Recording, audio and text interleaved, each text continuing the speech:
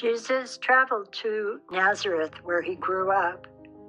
On the Sabbath day, as usual, he went to the synagogue.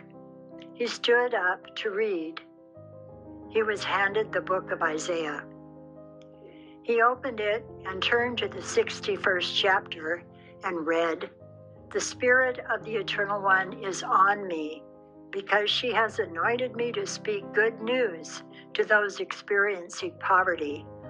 She has called me to speak freedom to prisoners and sight for the blind.